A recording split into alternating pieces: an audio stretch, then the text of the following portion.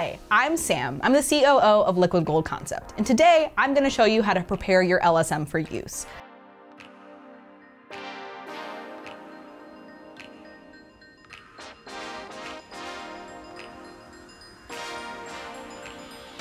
If you received your lactation simulation model after August 2019, then you have an LSM filling fluid container that looks like this. So to go ahead and fill up your LSM, you're going to start by unscrewing the white cap on top of the LSM filling fluid container. Go ahead and place that white cap on the table so you have it for later. Next, you'll take the Luer-Lock syringe that came with your model and fill it with about 5 ml of air. Screw the Luer-Lock syringe on top of the LSM filling fluid container and flip the container over. Push the syringe in to push the air into the container and allow it naturally to fill with about 5 ml of filling fluid.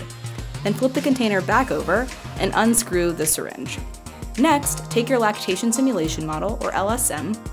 We're going to turn it around so you can see there is a white cap on back.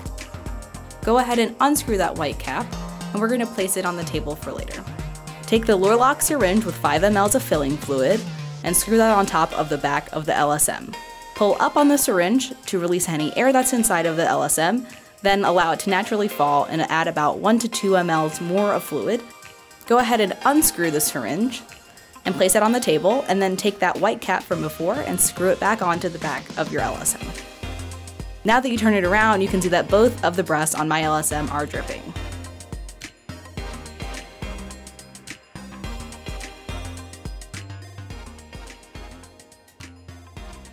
So we're ready to do hand expression. The next thing you wanna learn how to do is how do you engorge your LSM. So I'm gonna go ahead and show you the hand pumps that are here on the bottom.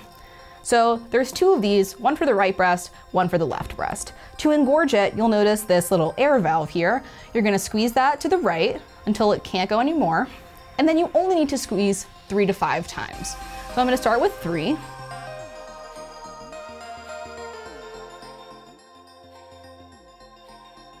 And you should notice the breast is starting to feel a little bit firm. It's a little different on every model and that's totally fine. So if it's not as firm as you want it, go ahead and squeeze a couple more times.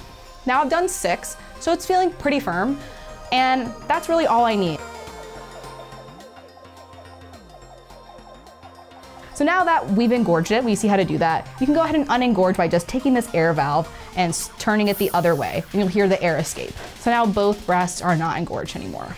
So the last thing we wanna go through is how do you put on your LSM? It is a wearable model and that's really important because you can both understand what it's like to be a breastfeeding mom and you can practice with the model on another person to really get the perspective of practicing breastfeeding skills with a mom. So to do this, as you notice on the back of your model, you've got some straps here. So when it comes, they're gonna be tied up like this, just nice and loose. Go ahead and undo those. Next, you're gonna loosen up the straps all the way so that it's the open and you can put it over your head. Last thing you'll notice is this nice crisscross with the Liquid Gold Concept logo. You can go ahead now that everything's loosened, you're gonna turn the model back around and take it over your head just like you're putting on a t-shirt.